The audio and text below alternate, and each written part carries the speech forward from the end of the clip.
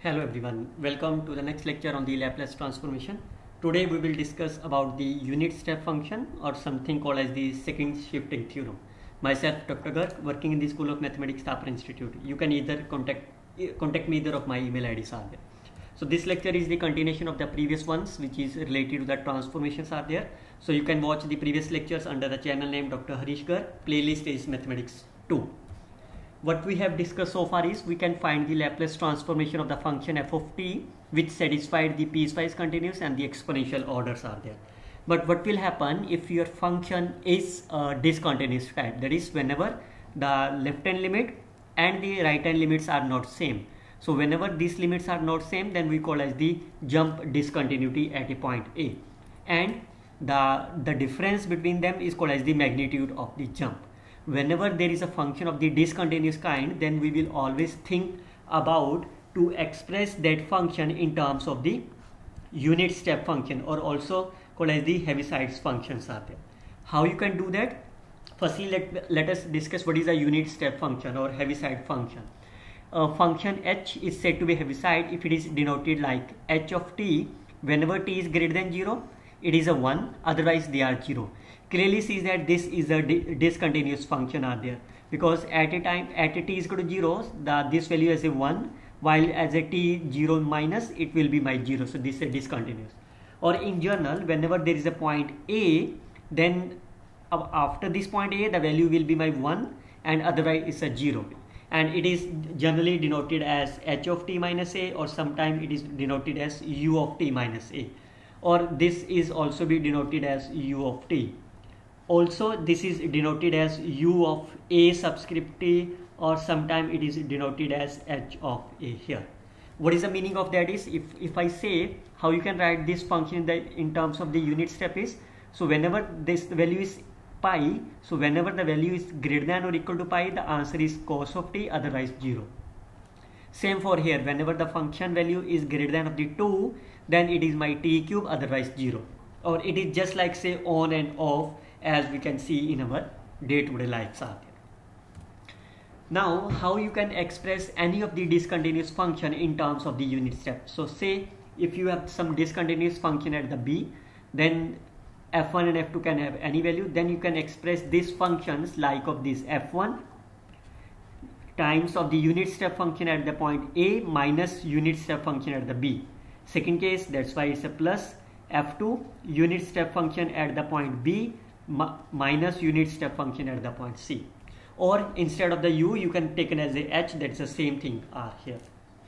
How you can find the Laplace transformation of the unit step function? So since h is my here now by the definition of the unit step function you can start from here 0 to infinity e raised to power minus st of this. So if you expand them from the 0 to a its value is 0 and from a to infinity its value is my here. So can you find that yes this is there. So this is the one of the most important result. You should remember that Laplace transformation of this is nothing but minus as upon s. What is the a is? Here value. Same thing you can find the Laplace transformation of the unit of this. You can write like say difference of this.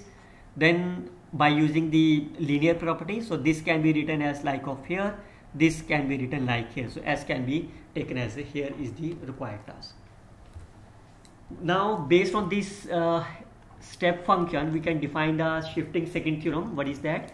Whenever you have the Laplace transformation of the function then you can if the step if the step function is involved in the function then you can simply write as e raised to power minus as of the Laplace of the f. How you can prove that? That's a very simple. We can start from here. Uh, this is the Laplace definition. Now what is the value of this? Its value is my 1 whenever t is greater than of the a this is my a sorry this is my f of t minus a and otherwise 0 whenever it is a less than of here. So I can write this value as from 0 to a and from a to infinity. So this value will be my 0 and this value becomes my here from a to this of here. Now since I need the Laplace transformation so I can take t minus of a is say u or you can consider as a y then d of t is nothing but the dy so what is the limit is? Whenever a the value of y is 0 and so on. Since this is the integration with respect to y so I can take a common as of s of a is common. So the right part is here. So do you remember that? What is that? This is nothing but my Laplace transformation of the f. What is the Laplace transformation of the f is f of s. What is the meaning of that? How you can see in this? So see this is the couple of the examples so we will discuss about these 7 to 8 examples so that you may understand it clearly. First of all can you write this as a step functions? Yes you can write like this way because its value is greater than 3 it's a something. Otherwise 0 so I can write like this way. Now there are the two methods are there? We will discuss the two method. First method is you can how you can find the Laplace transformation of here is you can see by the definition this function is nothing but the Laplace transformation of f make sure that whenever this is a t minus a it is also the t minus a then you can find the Laplace of here. So here this is f t minus 3 this is also the t minus 3 so you can simply find the Laplace transformation of this is. What is the Laplace of this is? E raised to power minus of 3s I can write like here and into Laplace of t square because this is f of t here. So what is the Laplace transformation of this? This is nothing but my gamma function of 3 upon s3 gamma function of 3 is my 2 upon s cube is the right answer. What is the other way is that for in this example you can see that this t minus 3 and here is also the t minus that's the same value are there. But in general it is not be the same like here. Can you express this part in terms of the unit step function? Like of this now what is the first part is you can try to write the Laplace of here. How you can do that? You can firstly write the Laplace of this e raised to power minus as what is the a? A is my pi. You can compare them with respect to here. So this is my minus pi s. Now since this value is not with the t minus pi this value is not with the same. So what you can do you can simply replace you can sim if if they are not same then you can simply replace the value of t by t plus a. In this case a is my pi. So i can replace the value of here as of this value now can you uh, can you write the what is the value of the cos pi plus t it lies in the third quadrant so it's a negative minus of cos t so this value is nothing but my minus of cos t what is the Laplace transformation of the cos t? All of you know that this is s upon s square plus 1 is the right answer. What is another method is? Second method is you have to firstly express this t in terms of t minus pi. How I can write that? You can I can simply write I can simply subtract minus pi and I can add plus pi here. This is the way you can write them like of this. Now since this we need them now what is that? If I consider this as x so what is the value of the cos x plus pi? This is nothing but my minus cos of x. So I can write this as minus cos of t minus pi of this value now by using the shifting second theorem these values both are same. So what is that? Now by shifting second theorem it can be written as minus pi s. This is minus Laplace of f of t. So this is f of t is my cos of t are there. So what is the Laplace of the cos of t? You can see what is the Laplace of the cos t is nothing but my s upon here. And you can see both the answers are same look at the other one is there so again we will see that two met two methods are there again now you can see this is in the form of the intervals v so can you write this in terms of step function yes you can write as of h of lower minus h of this. So t minus 0 is my h of t and so on. Now again we can write the two methods. Firstly method is you can simply use this here. What is the Laplace of this? I can write as a 0. So this is e raised to power minus of 0 as nothing but 1. What is the? Okay, I can write like for you here. What is the Laplace of this part? Firstly, minus Laplace of here. Now how you can write that? Since this is 0 so it can be written as of this Laplace of t. I can replace them to be the t plus a. In this case a is my 0 so t plus of 0 what is that? E raised to power 0 is my 1 what is that? Laplace of this is 1 upon s minus a what is that? This is t minus 1 so this is 1s I can replace the value of here. In this case is t plus 1 here. So you can see I can write like of here. Since we need the Laplace of the here so I can return as of this form. I can take E as outside. What is the remaining is Laplace of ET that is nothing but 1 upon s minus 1 is the required answer. What is another way is I can express this quantity in terms of here. So I can expand this as t minus 1 and I always recommended this one. Since e this is constant this is outside here is t minus 0 I can write as a t minus 0 so what is that? This is here Laplace of e raised to power t by using a shifting second theorem. E raised to power minus 1s Laplace transformation of et so by using the shifting second theorem you can simply write like uh, this one. You can see both the answers are same another way you can write this way again you can write this in the shifting second theorem or unit step function like of this.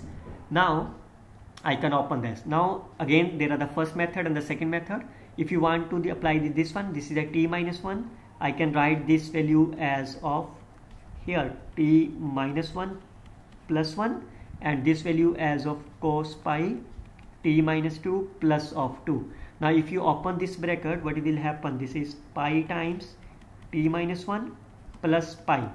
What is the value of this? Cos pi plus something is minus of cos pi times of this. How you can solve this value? This is nothing but my cos of this plus of 2 pi. What is the value of the cos? 2 pi plus of this. This is nothing but cos of here.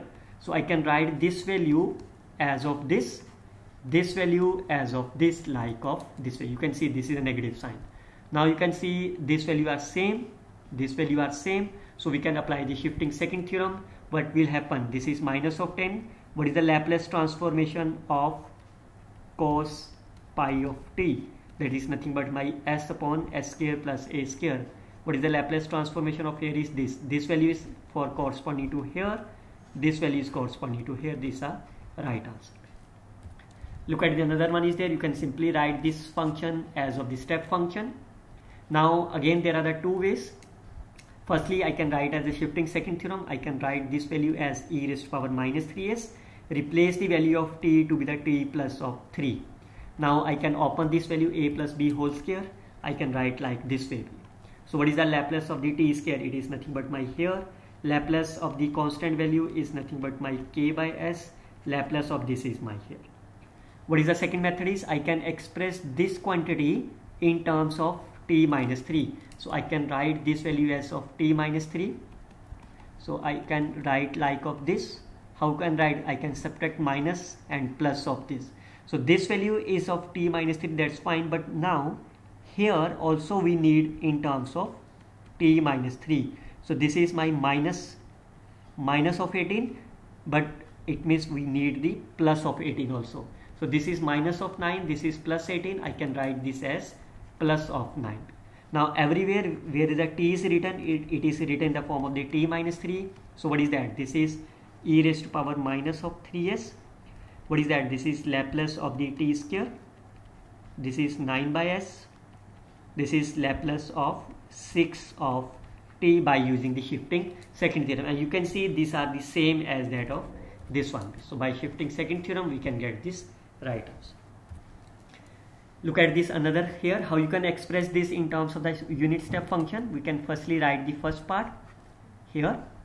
H uh, unit step function of the lower minus of the upper plus second part unit step function of here. Now if you open this bracket I can say this part and this part can be common. I can write here. Now again there are the two ways. Again I can see this is can be taken as a common. I can write like here. So this is a t minus 1 this is already t minus 1 that's fine this is already fine these all are fine. So we can apply the shifting second theorem. So this is e raised to power minus what is the Laplace of the t? This is 2 this is the Laplace of this is the shifting second theorem Laplace of t. This is e raised to power minus 3s Laplace of the t. Now you can apply the shifting second theorem you can apply you can compute the Laplace of the t is nothing but my 1 by s this is my 1 by s sorry 1 by s square this is again 1 by s square so 1 by s square is common you can take like this way is the right answer same if if there are the more than two functions are there again you can write them in the similar manner the first function unit step function of the 0 minus unit step function of the 2 and so on. Now if you open this one, now you can see this is a t minus 0. Can I write this part as of the t minus 0? You can easily write.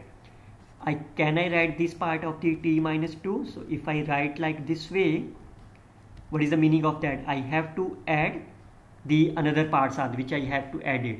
I can write this part as of t minus 3 so this is minus of 6 and minus of 11 so it means it's minus of 5 so I can expand them in terms of the Laplace here otherwise this is the first method otherwise you can write this simply as of this Laplace of 2 plus t square I have to use replace t plus of 0 here. In this case I can to replace t, t plus 2 so this is the Laplace of here. This is 4 of this.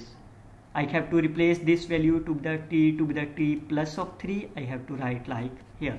Now you can open this bracket. You will get this expression are here. You can open this. You will get here. And you know the Laplace transformation of this and this are uh, this is you can do it yourself. Once you will compare them you can see after the comparison you can compare this. For example you can write this part of this h of this and here. Now based on this you can uh, apply either of the methods you will see this is the expression you can compute and check whether this is the right answer or not. So this is the way you can solve this shifting second theorems are there. You can find some other videos related to this in my channel dr harish garg channel playlist name is the mathematics 2 all you can find through the channel name link dr harish garg till then you can simply share this video with your friends. Best of luck students. Happy learning